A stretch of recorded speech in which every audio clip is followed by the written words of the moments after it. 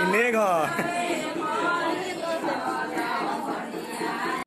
Bhojpuri superstar Pawan Singh, इन दिनों अपने गाँव आरा में हैं, लेकिन आरा में वो क्या क्या कर रहे हैं, आप सभी को पता है।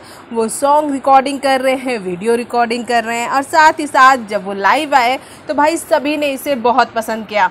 अब आपको बता दें कि आरा में रहते हुए पवन सिंह एक और काम कर रहे हैं, अपनी बुआ के लड़के की शादी में शामिल हो रहे हैं, और कल ही उनके बुआ के लड़के के घर हल्दी की रस्म थी, जहाँ वो गए और उन्होंने वहाँ पर वो रस्म भी निभाई। वैसे पवन सिंह अपने परिवार के साथ बहुत जुड़े हुए हैं। वो लगातार परिवार के हर एक रस्म में शामिल होते, हर एक चीज़ों में शामिल होते हैं। अपने परिवार को अपना अभिन्न अंग बताने वाले पवन सिंह का कहना है कि परिवार के बगैर दुनिया में कोई सुख नहीं है। तो आपको ये भी बता दें कि अपने बुआ के लड़के की शादी में भी शामिल होंगे पवन सिंह और इन दिनों पवन सिंह अपने और भी कई एल्बम्स में काम कर रहे हैं। जैसे कि आपको तो ये भी पता है, कल ही खेसारी लाल यादव अपने गाँव पहुँचे हैं और खेसारी जल्द ही अपने बोल बम गाने की शूटिंग करेंगे। जी हाँ बोल बम गाने की शूटिंग करने वाले हैं खेसारी लाल यादव।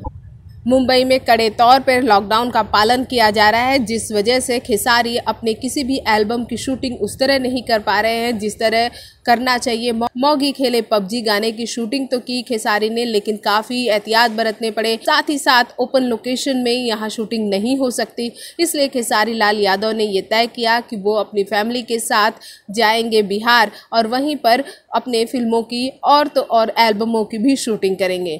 तो भाई, खेसारी लाल यादव के नए गाने तो आपको सुनने को भी मिलेंगे, साथ ही साथ देखने को भी मिलेंगे, बोलबम के गानों की भी वो शूटिंग स्टार्ट कर देंगे एक दो दिन में। तो भोजपुरी जगत की हॉट और मसालेदार गॉसिप के लिए हमें सब्सक्राइब करना बिल्कुल ना भूलें।